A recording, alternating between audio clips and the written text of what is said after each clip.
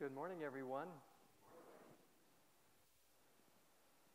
You're going to have to bear with me while I am trying to get set up here.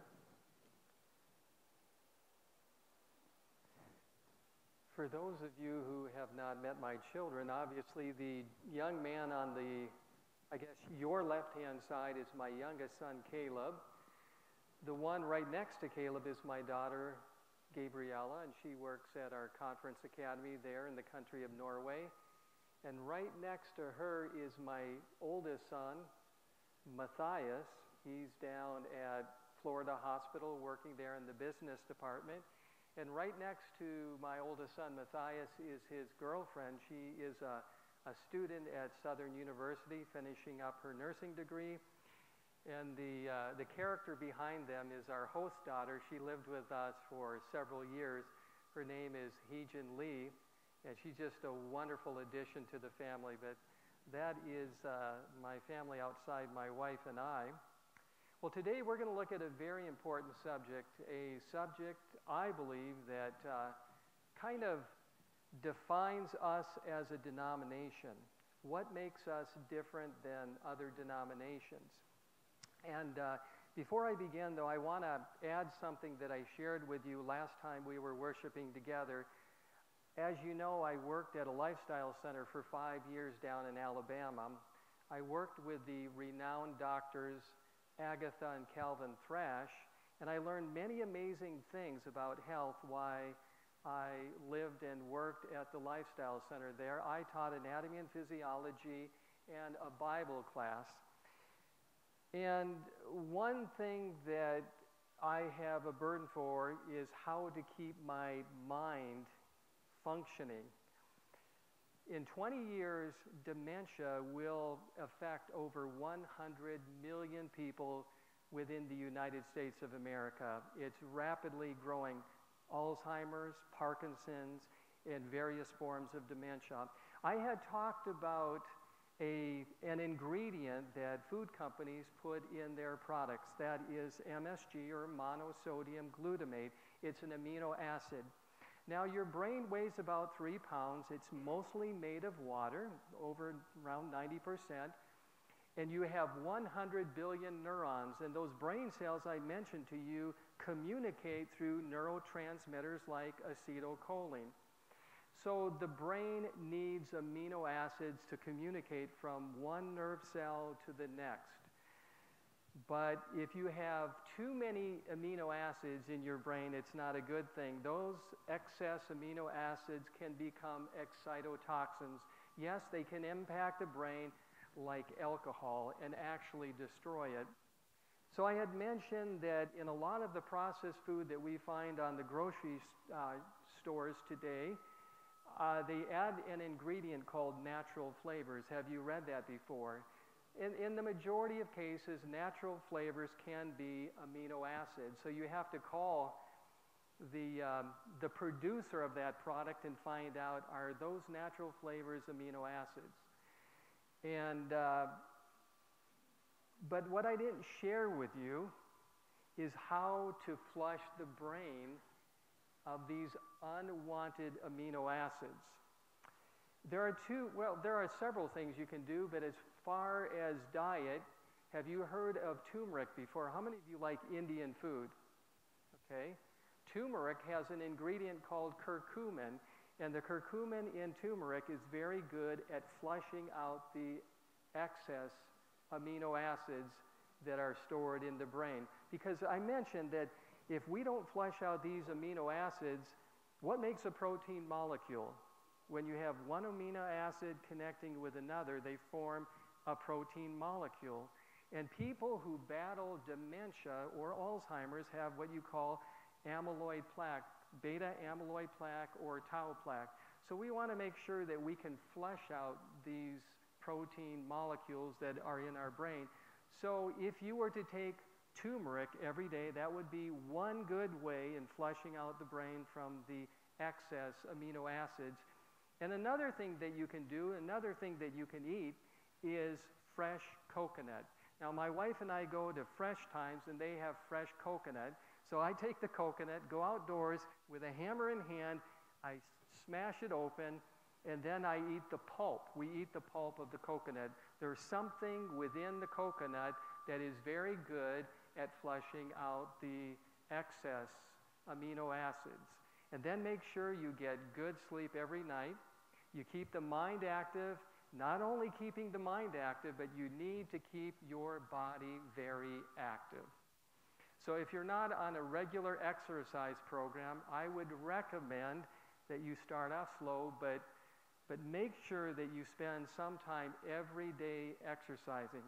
The only means of communication between God and His creation, you and I, is through what? Through our brains. And if you lose your ability to communicate with family and loved ones, you really don't have much, do you? And God wants us to have clear minds. Now, there is a, a, phenomenal doctor, Dr. Russell Blaylock. So, if you want to learn more about it, go to YouTube and type in the name Dr. Russell Blaylock.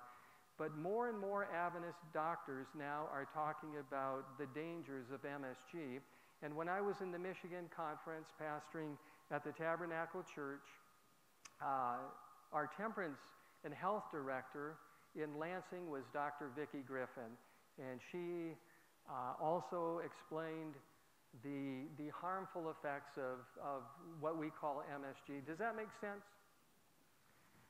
So, curcumin or turmeric, and what's the next thing you can eat? Fresh coconut. How many of you like coconut? Yeah, it's really good. Um, let, us begin with an additional word of prayer.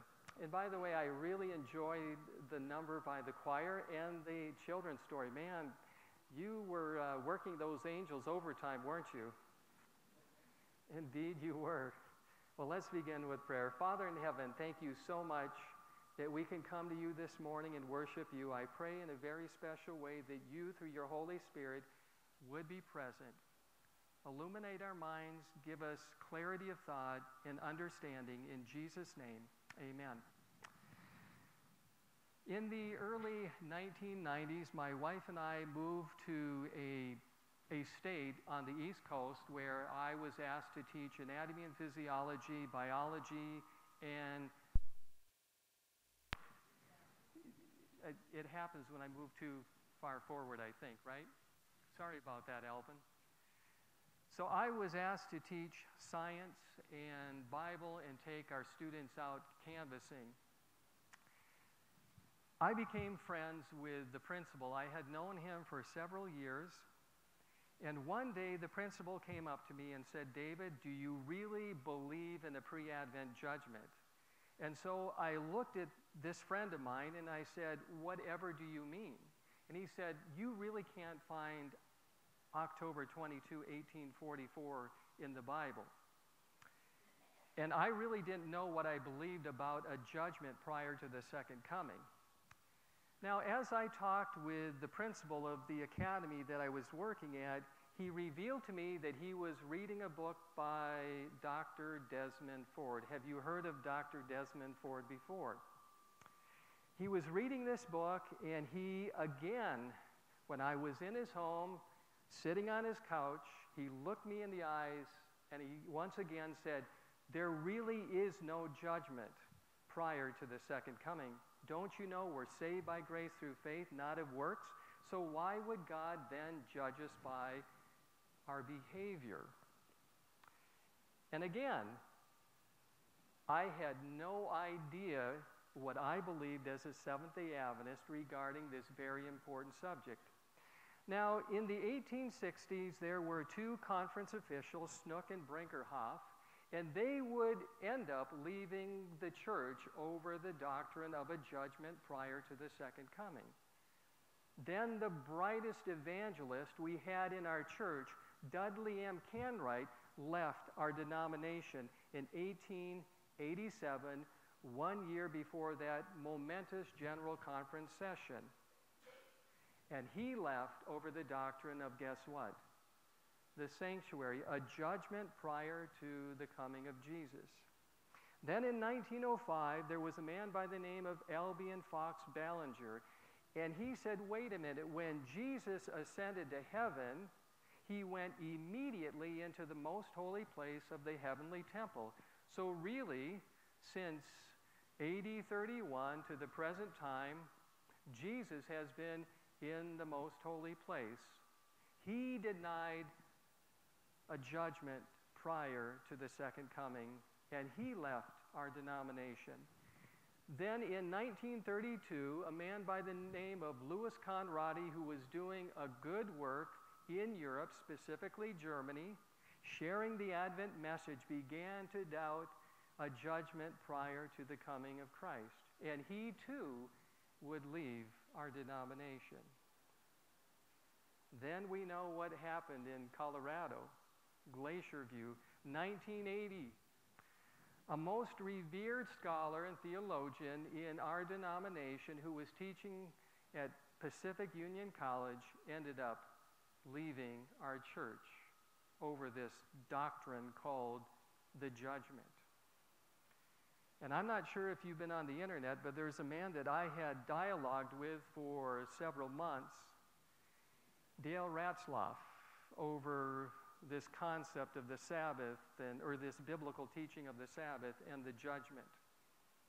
And he too would leave the Seventh day Adventist Church and start a ministry attacking the central pillar of our denomination the sanctuary message.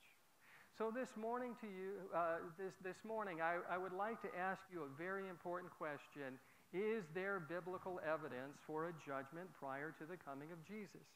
Now, is judgment a foreign concept in sacred scripture, yes or no? Well, if you go back to Genesis chapter 6, 7, and 8, there was a man by the name of Noah. God had raised up Noah to deliver a special message for the people who lived prior to the flood. He shared with everyone, everywhere, that coming judgment was around the corner. We are accountable for our life. And according to the book of Genesis, it said, violence and corruption and wickedness filled the world at that time. So this man by the name of Noah started building a boat. And after the boat was completed, he gave one final invitation for people to enter the ark. Sadly to say, only Noah, his wife Shem, Ham, and Japheth, and their wives entered the ark. And then the deluge came. Now, that story clearly illustrates judgment for those who entered within the ark and judgment against those who what? remained outside the ark. Then move forward in the book of Genesis, Genesis chapter 19. There was a man by the name of Lot, and two angels came to the door of his house. They knocked on the door. Lot opened up the door, and they shared a warning message with this man who had compromised his faith. They said, Listen, because of the immorality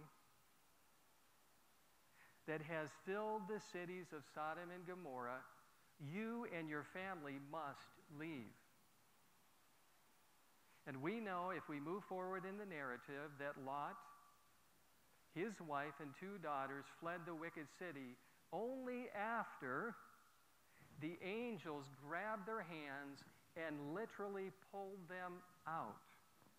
So that story reveals judgment for those that fled the wicked cities of Sodom and Gomorrah and judgment against those that what? Remained inside the wicked cities. Then I think of the three men, Korah, Dathan, and Abiram,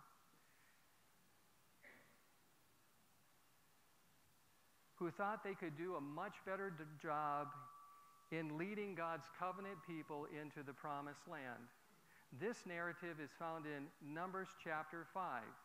But God had not chosen Korah, Dathan, and Abiram to lead his people out of Egypt, through the Red Sea, and through the wilderness into the promised land. And they attacked the leadership and authority of God's delegated leader. In that narrative, what happened? Because of their their rebellion, their insubordination, God opened up the ground. Korah, Dathan, and Abiram, their wives and children were swallowed up. That story illustrates what? Judgment. Judgment. And then that famous story found in 2 Kings chapter 5. There was a prophet by the name of Elisha, and due to his special connection with God, he encouraged Captain Naaman, captain of the Syrian army, to go and wash in what river? Jordan River. And how many times was he to dip below the water? Seven times. And when he came out, what happened to his leprosy? It was totally gone. Now, he was so excited for what happened, his renewed vigor and health, that he came to the door of Prophet Elisha's house with some gifts. When Elisha saw this, this king, uh, this, the captain of the king's guard standing before him, he said, Listen, I cannot accept these gifts that you're wanting to give me. I did not heal you, it was the God of heaven. And so then Captain Naaman and his soldiers take off. They're heading back home now. But Gehazi coveted the clothes and the gold. He jumps on his donkey and tears off after Captain Naaman. And then, once in the presence of Captain Naaman, he said, Listen, there has been a change of plans. We have some young men who are going to our school, the school of the prophets, and they could use some tuition money and some clothes. Now, what happened to Gehazi? The leprosy that was on Captain Naaman now riddled his body. That story reveals judgment, doesn't it? And what about poor Moses? Not only were the people murmuring and complaining about his leadership style, but they started, his brother and sister, Aaron and Miriam, started to make fun of Moses because he married a woman from the country of Ethiopia. And as a result, what happened to Miriam? She became leprous.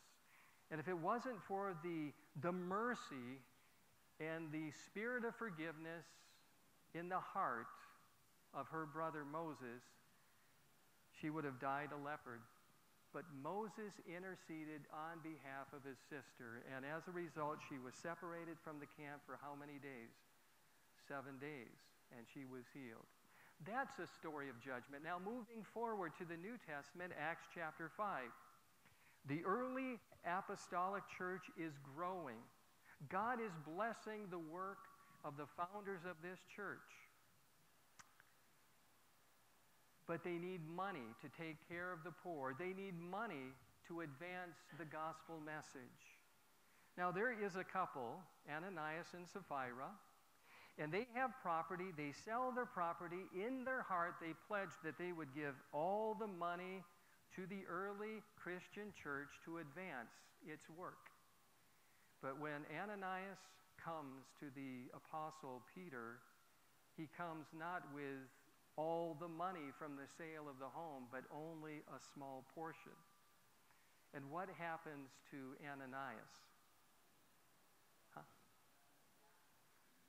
He is struck down dead. Three hours later, his wife comes, and Peter says, Is it true? Did you sell your property? Oh, yes, we did.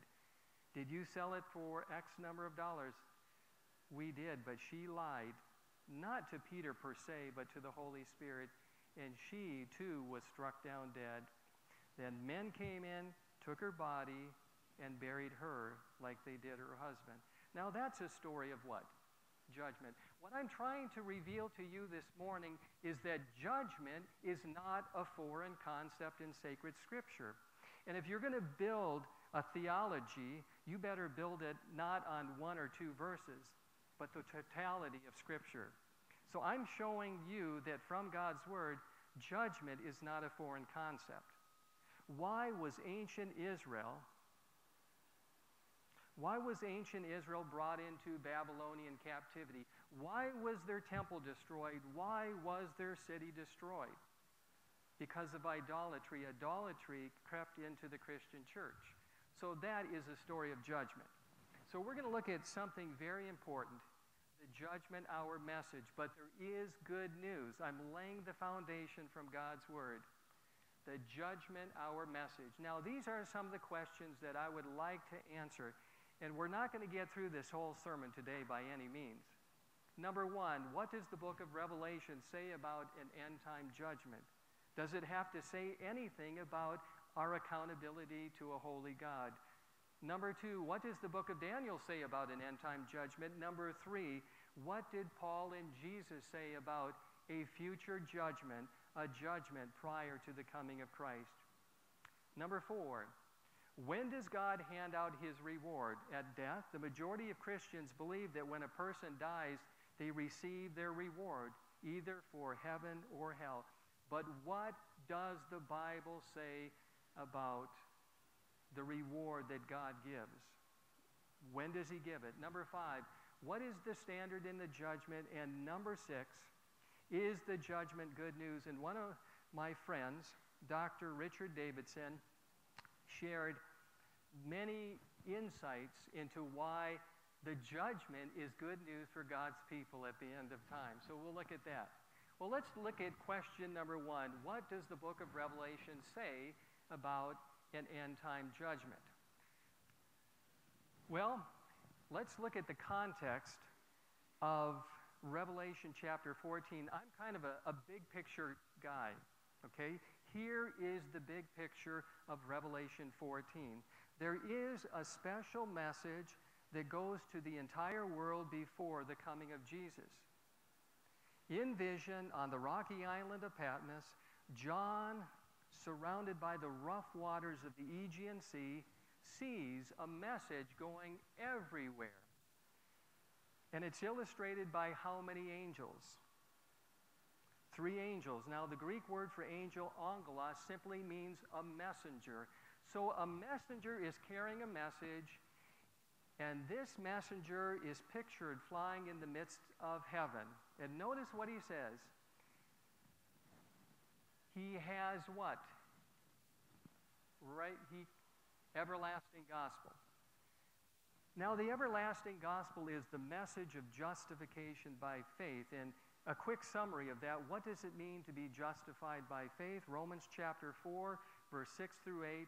If you are justified by faith, your sins are forgiven, your sins are covered, your sins are not held against you. And the Greek word for justification, dikaiosune, means you are regarded holy, righteous, and innocent before God. Isn't that good news? And that is a gift that God gives to us, and we receive that gift by faith alone. So the everlasting gospel is preached to those who dwell where? They dwell on the earth to every nation, tribe, tongue, and people and what does the angel say? He says in a loud voice, Fear God and give glory to him. Why? Why? For the hour of judgment is come, has come. Now, what follows the proclamation of the first angel's message? The judgment hour message and the proclamation of the gospel a warning about Babylon, and a warning about receiving the mark of the beast. Now, catch this. In Revelation chapter 14, it says, If you receive the mark of the beast, you will drink from God's cup of wrath, undiluted wrath. But here's the good news. Do you know that the gospel can be proclaimed in the third angel's message? You might be saying, well, how do you find the gospel there? Well, go back with me to the end of Christ's ministry. He was in the Garden of Gethsemane. And he prayed a prayer three times Lord, if it be possible, let this what? Cup. May it pass from me. Now, what was in that cup? God's undiluted wrath. So here's the good news of that warning message, the most solemn message in sacred scripture. No one has to drink from that cup. Why? Because Jesus already drank from that cup.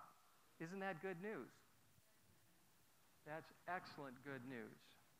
So, what follows the proclamation of the first, second, and third angel's message? It is the coming of Jesus. Notice what the Bible says, and I looked, and behold, a white cloud, and upon the white cloud sat one like the Son of Man, having on his head a golden crown, and in his hand a, what's the next two words? Sharp sickle.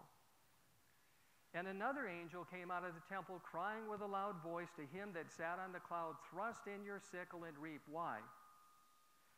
For the harvest is come for you to reap, for the harvest of the earth is ripe. And he that sat on the cloud thrust in his sickle on the earth, and the earth was reaped. Now, what is being depicted in Revelation chapter 14, verses 14, 15, and 16? What is being pictured? The coming of Jesus. Jesus is pictured seated on a white cloud. On his head is a golden crown, in his hand is a sharp sickle, and an angel comes out of the temple and says to him who is seated on the white cloud, What? Thrust in the sickle. Why? For the harvest of the earth is ripe. It's time. It's time for you to come and gather your children together. So, according to John the Revelator, when does the judgment come? Prior to what great event? The second coming. Now, every country has a judicial system where its citizens are subject to judgment when they violate its laws. Is that true or false? That's true. Without laws, a country would immediately go into what's the next word? Anarchy. The people who live there would not be safe from bodily harm, and their property would be subject to what are the next two words? Theft and destruction. Now, we know this man, don't we? O.J. Simpson. How many of you were glued to the television when this was going on? I remember as a young boy, my uncle was the head coach of Burnsville High School. He played college football for Gustavus, a private college or small college in Minnesota, and he was the captain on his football team. So I remember my uncle coming over to our house on Sundays, and we would sit and watch the Minnesota Vikings. And I remember sometimes when he would come and the sun had set, we would be at grandmother's house and we would watch college football. And my favorite football team was USC. And I remember as a boy watching O.J. Simpson, the Juice, they called him. Do you remember that? Well, we know that he was accused of murdering his wife and a friend of his wife's. But because he had a phenomenal attorney, what happened? He was acquitted of murder. Now, I'm not going to ask you guys if you believe he was innocent or not. We could, we could start a debate here. Now, what about these two boys? Do you remember them? The Mendez brothers? They were convicted of the crime of murdering their mother and father. Why did they do it? Because they wanted their inheritance and they couldn't wait until mom and dad had passed away. Now, what about this guy? Who? What? Do you remember his name? What's his name? Scott Peterson. And he murdered his wife, who was pregnant, and dumped her body in a bay in San Francisco. He was convicted of murder. And what about this lady? Do you remember her name? What, what's that? Yes, yes. And she was acquitted of the crime of murdering her little girl. So every country has a judicial system. And if we didn't have a judicial system, would you feel safe? Living in your home? Would you feel safe at work or shopping? No, no. So thank the good Lord, there is accountability, right? But what does the book of Daniel say about an end time judgment? Well, we're going to look at Daniel chapter 7. If someone came to me and they said, You know, David, you, as a Seventh day Adventist, you believe that there's a judgment prior to the second coming. I would say, I, I do believe that. But what is the biblical evidence for that? If I only had one chapter in all of Scripture, you, do you want to know where I would take them? To Daniel chapter 7. So we're going to briefly look at Daniel chapter 7. We're not going to read it verse by verse. But as you know, Daniel in vision sees a body of water, and what comes up out of the water? What is the very first animal that comes up out of the sea? It's a lion. Now we know Jeremiah, a contemporary of Daniel, mentioned over and over in the book that bears his name that Babylon would come and surround the holy city and destroy it. But Jeremiah likened the nation of Babylon to being a lion. And Babylon went from 605 BC to 539. Now, what was the second animal that came up out of the water? That was a bear. And the second nation that came on the stage of history in the then known world were the Medes and the Persians, and they conquered the nation of Babylon. Now, in this picture, it doesn't have three ribs in the mouth of the lion, but the three ribs represent the, the nations or the kingdoms that the Medes and the Persians conquered Lydia, Babylon, and Egypt. Now, the next power that came up on the stage was the nation of Greece under Alexander the Great. And Greece went from 331 all the way to 168 BC. Then following, by the way, what do the, the four heads represent? Do you remember? Cassander, the four generals, right? Cassander, Lysimachus, Ptolemy, and Seleucus. Now let's look at the next one. The next beast that Daniel saw coming up out of the sea was a dreadful, horrible beast that had iron teeth. And this beast had how many head, horns on its head? Ten, right? Ten horns. And so the nation that succeeded the Grecian Empire was the Roman Empire. And by the way, I was there last summer. If you get a chance, I would highly recommend that you go to Vatican, Rome, and travel all over there. It, it's quite amazing. The Colosseums and uh, Sistine Chapel, etc. But pagan Rome went from 168 BC all the way to AD 476. Then we know that the pagan Roman Empire collapsed. It formed Western Europe. And Western Europe ba basically formed from AD uh, 476 to the present. So you had the Anglo-Saxons, the Ten Horns, the Burgundians, the Franks, the Suevi, the Heruli, the Visigoths, the Ostrogoths, etc. So we have Western Europe beginning to form, and out of Western Europe comes a little horn. And if you look at the characteristics, that little horn power points to the papacy, the Roman Catholic Church. And it's interesting to note that this little horn power would rule for a time, times, and half a time. Now, if you look at the rest of Daniel and Revelation, that time prophecy is also called 42 months or 1,260 days.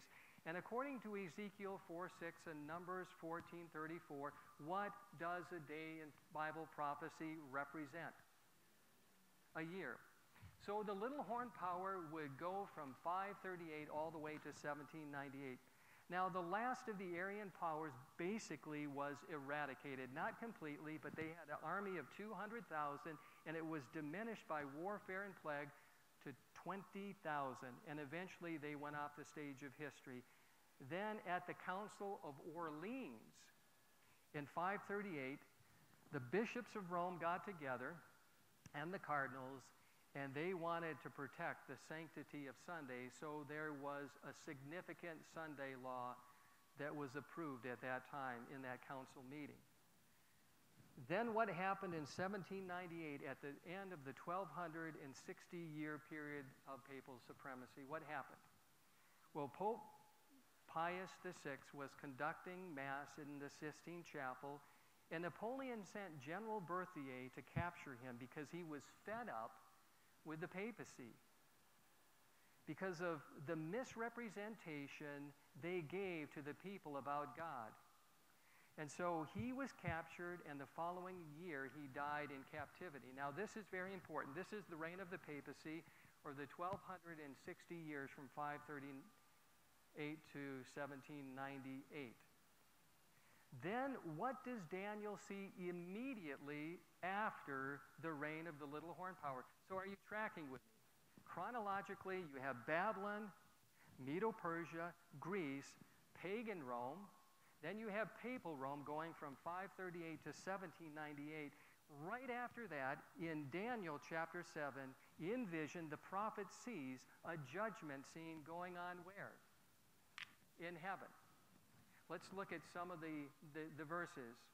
I watched till thrones were put in place, and the Ancient of Days was seated. His garment was white as snow, and the hair of his head was like what? Pure wool. His throne was a fiery flame, its wheels like a burning fire. A fiery stream issued and came forth from before him. A thousand thousands ministered to him. By the way, that refers to who? Who are the thousands, thousand that minister to him? Huh? Angels. 10,000 times 10,000 stood before him. Notice carefully the next sentence. The judgment was what? Seated, and the books were opened. Then in Daniel 7, verse 22, the Ancient of Days came, and a judgment was made in what? What's the next word? Favor of the saints of the Most High and the time came for the saints to possess the kingdom. Now, when do the sa- uh, saints possess the kingdom? At the second coming.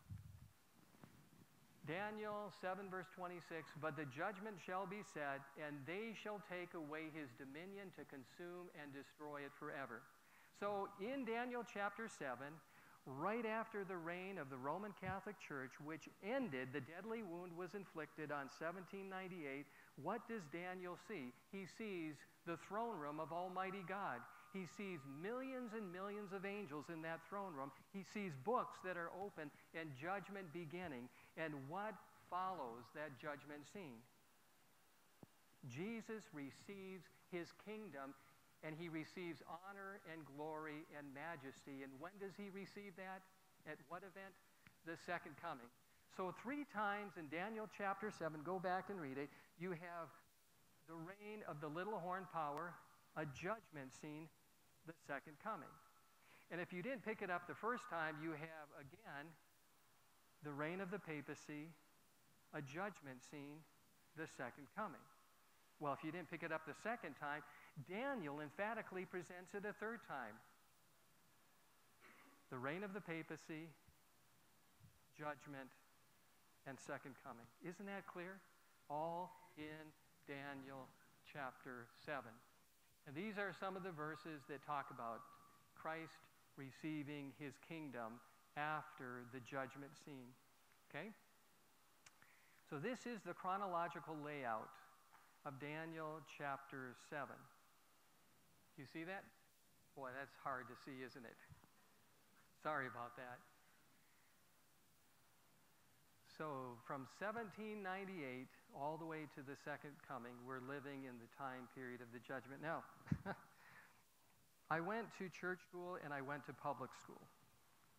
When I was in kindergarten, we had a lost and found box right by the door. My mother and father were not parents that would spoil my brother and I when we went to Target. We didn't have Walmart back then, but we had a Target. You know, I, have I've been to Walmart and Target, and when kids fuss and whine, their parents either give them a candy bar or whatever toy they're, they're whining about. My parents weren't like that. But I remember in kindergarten going to school, and right by the door was a box. And can anyone guess what that was in that box?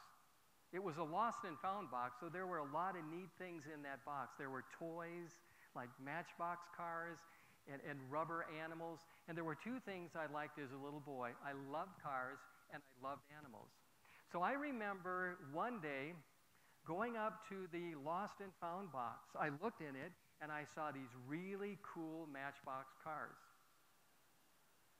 Not only did I see Matchbox cars, I saw some rubber animals. And so I looked over my right shoulder, I looked over my left shoulder, I looked behind me, and no one was watching. So with my little grubby hands, I grabbed those, a couple of the cars, I placed them in my pocket. Then with my other hand, I grabbed those rubber animals and placed them in my other pocket. Then I went home. Well, I was a little kleptomaniac, believe it or not. And, and I said, man, this is awesome. Mom and dad won't buy me toys when I go to Target, but I can get some really cool toys at school. So a couple days later, I went to the lost and found box, and there were more Matchbox cars and more rubber animals. And I looked this way, that way, behind me, and I grabbed those cars, put them in my pocket, and then I grabbed the rubber animals and put them in my other pocket. Well, eventually, um, I accumulated quite a few toys. And one day I was playing on the living room carpeting in, in our living room, and my mother walked in and she saw all these toys on the floor. And she said, Dave, David, where did you get all these toys? Now, for a little boy, being confronted by a mother who's staring straight into his eye. I couldn't look at my mother in the eyes. You want to know why? Because I could not say I stole them from school. So I turned my head and I said, um, uh, my, my friends at, at, at school, and I, I started to stutter, G- gave me the toys. And she said, Look at me in the eyes. And I did. And she said, You're lying to me, aren't you? And I said, No. You know what she did? This is going to crack you guys up. This is going to crack you up. You know what she did? She grabbed a telephone book. She opened it up and said, I'm calling the police. They're experts in at determining whether little children are lying or not. And I believed her. I was so scared that I, conf- I broke down and I started crying. And so the following day, guess what? I had a bag full of toys that I brought to school, and I dumped them in the lost and found box. So, yes, there is accountability, isn't there? Now, I'm going to kind of close it up right now. We're not going to look at what Paul or Jesus had to say about a future judgment, but you're going to have to hang with me because you're going to discover how beautiful the judgment is. In fact, I'm going to give you a, a preview David said, Lord, judge me. Read in the book of Psalms, David said over and over, Judge me, O Lord. Come on, let's get it done. Why would David say that? Well, we're going to discover for the believer who puts their confidence and faith in Jesus, the judgment really is good news.